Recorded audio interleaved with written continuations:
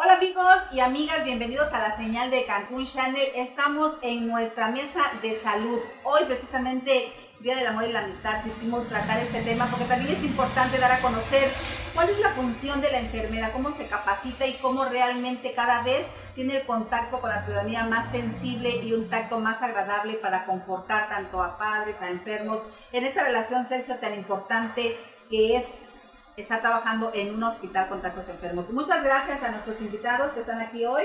Gracias. Gracias, Gracias. por la invitación. Está conmigo Sergio Masté, por supuesto, me gustaría que cada uno de ustedes se presentara dando su nombre y su Sí. ¿Alguna especialidad que tenga?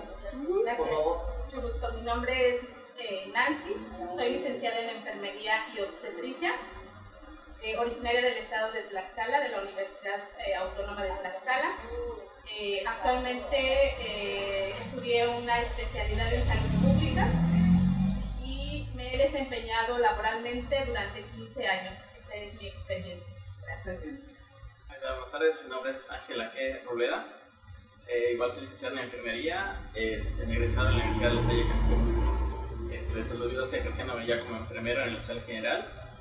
Eh, mi adiestramiento siempre ha sido la parte de urgencias. He rotado en muchas áreas en el hospital, pero prácticamente siempre he sido urgencias. Eh, una especialidad que como tal apenas viene surgiendo, que apenas viene hacer ruido, pues, estamos ahí como los primeros. Perfecto, bien. Buenas tardes a todos. Yo soy Marisol Espinosa, eh, soy egresada del ejército ya hace algunos años. Sí, sí, tiene porte. Sí, sí, derechita. bueno, eh, soy enfermera pediatra y recientemente acabo de terminar eh, gerencia y docencia en los servicios de administración de enfermería. Y bueno, tengo 15 años de experiencia laboral. Eh, bueno, estamos aquí para hablar de la enfermera. Muy bien, excelente.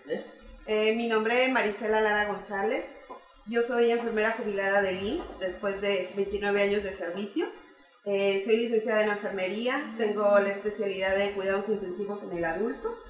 Eh, tengo una maestría en educación y recientemente un doctorado en el área de educación también. 2020, un año muy importante para las enfermeras. Un año muy importante para las enfermeras en donde es importante ese reconocimiento que se le da a la enfermera porque tiene muchas actividades, tiene muchas funciones que muchas veces desconocemos. Sin embargo, es muy importante que en este año todos participemos en ese empoderamiento que necesita la enfermera para poder eh, ser reconocida de alguna manera en su trabajo, en su quehacer, los retos que enfrenta, los problemas que a veces tiene que resolver ella en la atención durante, este, con el paciente. ¿Cómo se han ido, con, con tantos años de experiencia ya jubilada, cómo se ha ido profesionalizando la enfermera? se ha ido profesionalizando poco a poco. Eh, de hecho, la licenciatura tiene poco tiempo de, de, haberse dado a conocer. Todavía estamos difundiendo que todas las enfermeras realicen su licenciatura porque es la única manera en que a mayor conocimiento podemos tener una visión más amplia de los cuidados y de la responsabilidad que tenemos como enfermeros y enfermeras. Hay un movimiento que se llama Movimiento Night Girl. Movimiento Nightingale 2020. ¿Qué significa qué, qué consiste? El movimiento Nightingale nació del programa Nursing Now que inició hace tres años. En el 2019, en el mes de junio, se lanzó una convocatoria para enfermería que es el reto Nightingale, en donde se empodera a la enfermera de 35 años o menos, porque es muy importante la enfermera joven. La enfermera joven que tiene mucha creatividad, que tiene mucha capacidad y que necesita la enfermería como que refrescar un poquito nuestra profesión. Y de ahí viene que últimamente esos jóvenes que han estado egresando de las escuelas, pues han tenido la oportunidad de estarse capacitando continuamente, cosa que nosotros no tuvimos en nuestra época, ¿verdad? Y eh, el movimiento Nightingale 2020 inicia precisamente para apoyar este, ese reconocimiento a la enfermera. El movimiento significa eso, tenemos que mover a enfermería para que nos demos a conocer en nuestras actividades, nuestras responsabilidades, eh, nuestros retos, nuestras aspiraciones.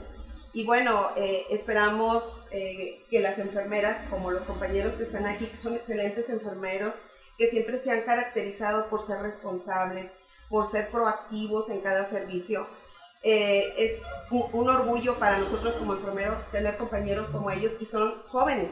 Pareciera que, así o no, Nancy. Nancy, pareciera que desde afuera los- los- la sociedad percibe solamente que, el la enfermera es la que inyecta y es la que ayuda al doctor.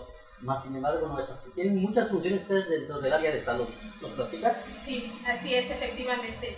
El- lo vital en nuestra profesión es enseñar a la persona a cuidar de su salud. Eh, la persona que no enferma es completamente feliz y puede desempeñarse dentro de la sociedad sin ninguna limitación. Ese es el enfoque número uno. Posteriormente, dentro de las unidades de hospitalización de segundo nivel, se encuentra el cuidado a la persona enferma. Es la actividad que desempeñamos directamente con el paciente. De acuerdo al, en ese momento la enfermedad que está presentando, le brindamos los cuidados, le brindamos la atención. Todo esto basado en el conocimiento, en la investigación que nosotros hacemos y la entrevista que le hacemos a nuestro paciente para conocerlo. Es amplio nuestro conocimiento. Si yo desconozco a mi paciente, no le puedo brindar una atención segura. Para ello, eh, hacemos esta entrevista, brindamos la atención segura dentro de las unidades. ¿Qué es la atención segura? Eh, ayudar a esa persona enferma a que salga de la unidad hospitalaria sana por la enfermedad que ingresó. Que dentro de nuestra unidad no se, no se infecte con otras bacterias que están en el medio. Eh, esa es la principal responsabilidad. Una atención segura, que no se caiga. La enfermera todo el tiempo está cerca de esa persona eh, que le llamamos paciente. Somos este, los que les brindamos los cuidados directamente y en la mayoría de las ocho horas de turno que estamos, nosotros le brindamos el cuidado directamente a esa persona.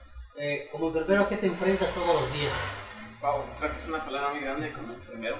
Este, te enfrentas a muchas cosas. Bueno, me explico yo que soy en el área de urgencias. Te enfrentas muchas veces con, una- con un programa que desconoces. Vaya, lo me expreso así porque, digo, en hospitalización a veces nos permite un poquito tener ese tacto más de lleno hacia la familia, envolvernos más en, en qué antecedentes tiene, como dice mi compañera, de extraer todo el historial que tiene el paciente. Pero en urgencias llegas con algo en el cual a veces no estamos preparados, la verdad. No estamos preparados porque no sabemos a qué nos vamos a enfrentar. Este, tienes que lidiar muchas veces con la familia. A la Todo- presión, ¿no? Llega la presión. tienes la presión porque es así, o sea, todos quieren una atención inmediata, ¿no? Y en parte de eso también el enfermero es el que hace el triage. O sea, el que es que va a determinar qué prioridad tiene de atención, a, dónde a con qué médico le correspondo, este, tiene cierto tiempo de espera o requiere una atención inmediata, ¿no? Eh, es un reto muy importante, lidias con muchos sentimientos, la verdad. Tengo compañeros, eh, al igual que mis compañeras, eh, que nos cuesta a mucho trabajo el perder el miedo a eso, a lidiar con la urgencia, ¿no? y sirve, como dice la maestra, en parte de la profesionalización nos permite a nosotros también volvernos docentes para poder hacer equipo con los demás. Decir, ok, yo no nací, eh, como todos sabiendo las cosas, pero te voy a enseñar. Claro. Porque necesitamos hacer un buen equipo y llevar, como dice mi compañera, a ese paciente a que salga adelante. Todos llegan a un hospital este, queriendo sanar. Y esa es nuestra finalidad. Que nuestros cuidados se enfoquen a poder progresar a ese paciente. Sabemos que va a ser un proceso quizás largo, que urgente no pasar a una área de observación, va a pasar a una especialidad donde ya más personas se van a encargar de darle la atención específica. Nosotros resolvemos la urgencia, estabilizamos al paciente en conjunto con el médico, buscando que el paciente ya sale pueda progresar a otra área sin llegar. En mejores casos, su domicilio. Claro. Trabajar con niños es muy difícil. Es la labor más hermosa. O sea, de mi experiencia como enfermera, yo creo que es, híjole, no, no, mencionaste algo hace rato, que de la sensibilidad, ¿no? Que las enfermeras somos insensibles. Sí lo he escuchado y, y no estoy de acuerdo. Yo creo que cada una de, obviamente, eh, hablamos de una experiencia, ¿no? Eh, decimos, eh, platicamos cómo nos fue, ¿no? Quizá la trataron mal alguna vez, pero yo creo que en mi experiencia con los, con los niños, eh, tenemos que ser empáticos con los papás, ¿no? Cuando llega, llegan, pues llegan con su hijo que está enfermo finalmente. Entonces, un hijo, pues imagínense, es la personita más importante para, para sus padres. Entonces, si está enfermo, obviamente la enfermera, una de sus labores es precisamente tranquilizar a esos papás que están sufriendo porque sufren con la enfermedad de su hijo. Entonces, la, la enfermera tiene que tener una fortaleza espiritual para poder brindar esa atención tanto al papá como al, al al paciente que sufre. Hablando de. Hablando de la ambulancia. ¿Qué pasa por la mente de ustedes cuando escuchan el celular de una sirena, una ambulancia? Urgencia. Pues sí, que es una urgencia, que viene una urgencia, que el paciente está grave. ¿Les ponen alerta? ¿Les ponen alerta? Algo pasa, algo y Sí, la Algo se sí. activa dentro de uno y estamos al pendiente. Él me llama la atención, por ejemplo, que está en urgencias. Sí, ya, ya que me levantar y a ver qué Sí, pasa. a ver qué pasa. A ver qué, qué caído llegó, a ver qué, qué lesionado con Sí. arma de fuego, con arma blanca, ¿no? Me imagino Pues sí, pues te parte de lo que a tú comentas, ¿no? Ese ruido de la sirena, vaya, dentro de, de mi formación y digo, ya, me atrevo a decir amplia experiencia en urgencias, vaya, eh, eso estamos, hemos estado como que inculcando un poco también en la parte del hospital, que es veces llega el, el paciente, eh, nosotros en, Cancún tenemos hospital de urgente primer y segundo nivel de atención, y siempre escuchamos de que el paciente que ser referido a Mérida, ¿ok? Bueno, el enfermero tiene una parte importante en ese traslado de ese paciente. O sea, el enfermero tiene que ser una responsabilidad de decir, ok, son quizás 3, 4 horas de viaje en el cual Y está bajo tu responsabilidad. es mi responsabilidad de garantizar la atención, el cuidado y ahora todo lo que yo hago en un área con mis compañeros, en un área más cómoda quizás. Luego son personas lo decir. No, pero sí siempre la sirena te alerta de saber. A muchas veces sí te avisan al hospital qué es lo, para, para lo que vas a estar preparado, pero muchas veces no. Y es así como que abrir la puerta y, y ver qué es lo que, es lo que vas a enfrentar, ¿no? A mí me gustaría ponerle que nos quedamos con, con el bebé ahorita que pasó la sirena. que- Nos interrumpió. Sí, que, que esa falta, bueno, no ya no de sensibilidad, sí, a mí, a mi apreciación, como lo comentaba antes de entrar al aire, me parecía que sí eran insensibles, porque no había una capacitación real y yo simplemente veía que solo llegaban a inyectar y a poner suero y, y- y así bien feo. O sea, sí, así te hacían, de verdad. O sea, yo lo padecí, varios enfermos y que eh, de repente digo, oiga, me duele, yo no tengo tan feo. Ay, aguántese, así es. "Oiga, pero no, pero ¿cómo? ¿Por qué? Pero ya no ¿No? están eso, Pero seguramente. ya no, seguramente sí están, pero cada vez se van sea, y es muy importante que sí atiendan esto. Eh, Igual puede ser que no les duela a ellas, o si les duela, lo sufran, pero así a lo mejor lo tiene que hacer, me imagino. Y tú con los bebés, ¿cuál es tu trato con ellos? Sí, pues. ¿Cuál es tu relación? Estoy en el área de hospital, en pediatría. Entonces ahí, pues desde que llegan, se ingresa al paciente, se le asigna su, su cama, se orienta a los papás.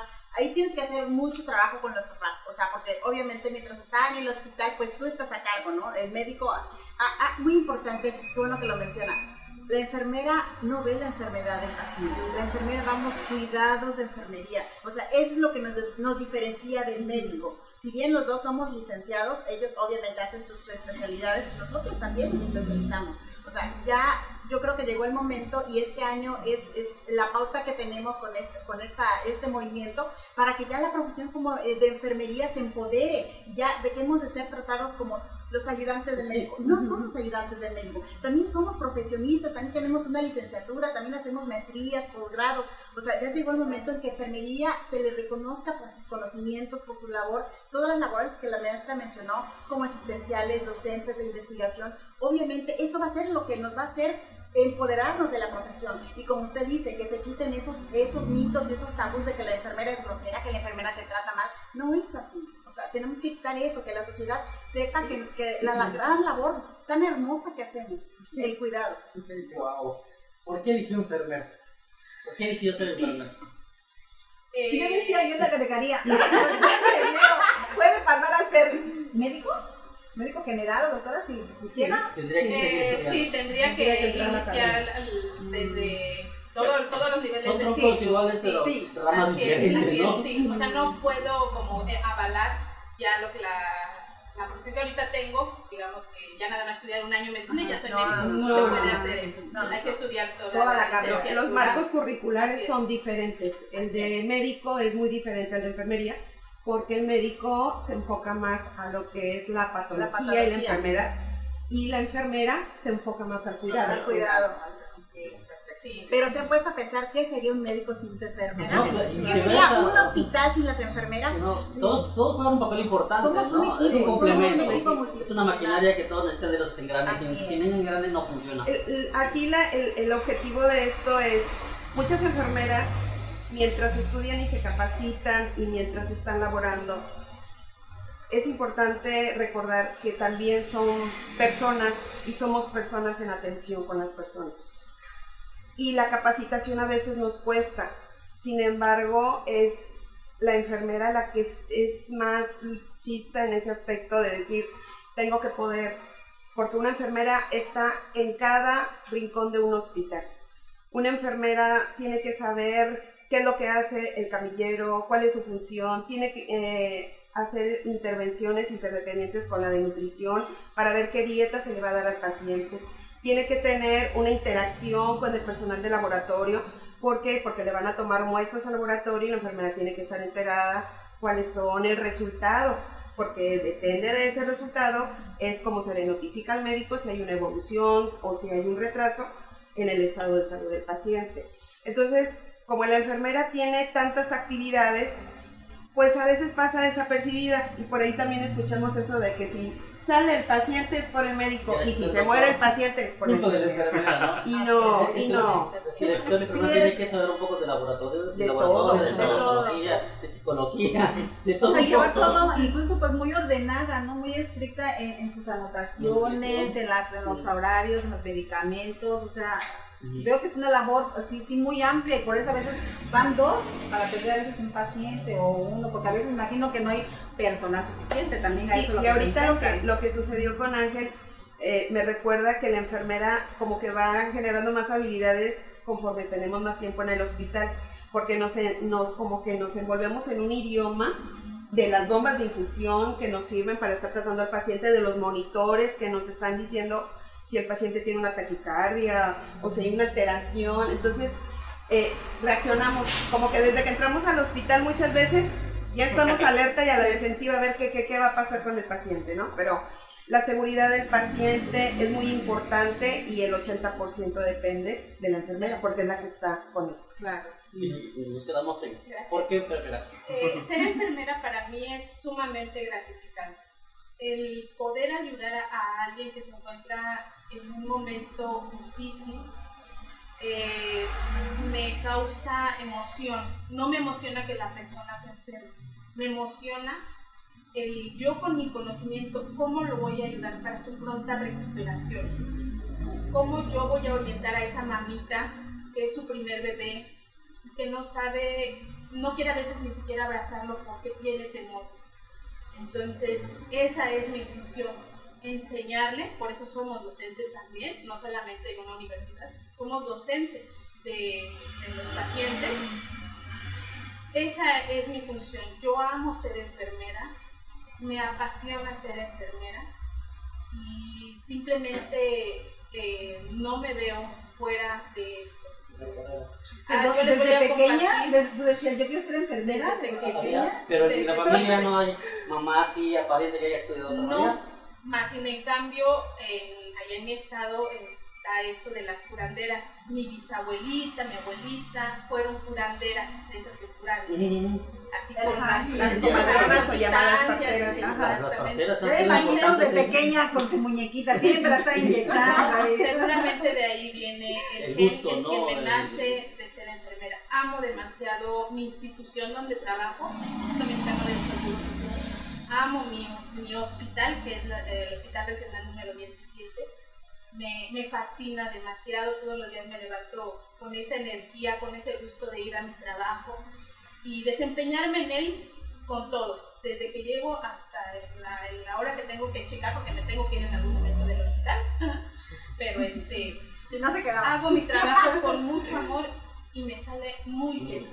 Me sale muy bien. Les voy a compartir una hermosa experiencia que les compartí a la misma que hace muy poquito me pasó, trasladando un paciente de quirófano, este, mi compañero camillero nos ayuda a trasladarlo pasando la otra camilla.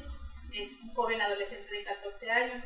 Cuando lo estamos trasladando, el compañero camillero se me queda mirando y me dice, ¿es familiar? Y le digo, no, ¿por qué?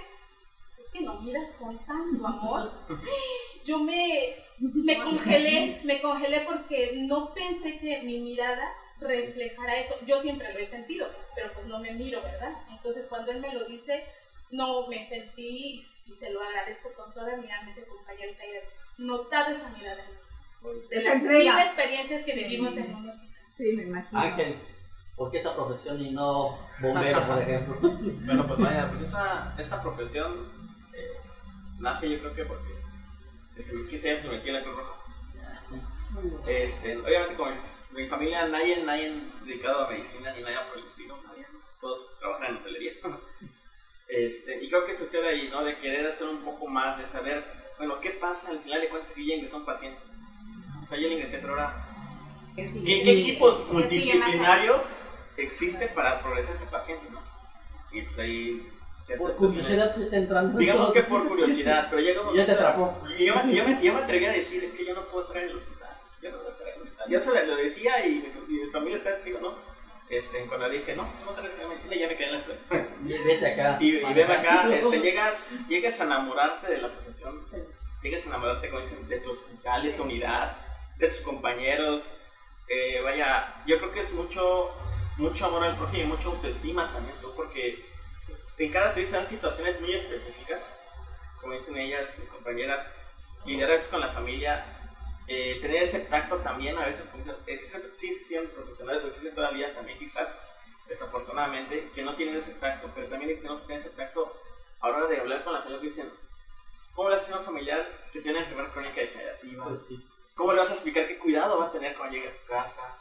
¿no? Con el día del con los niños, vaya, pues es educar también más que nada a los papás. Y luego son papás jóvenes también a los que te enfrentas ahorita. Sí, papás Es mucho, mucho amor a la profesión y al, prójimo, yo creo. ¿Por qué enfermera? ¿Por qué enfermera?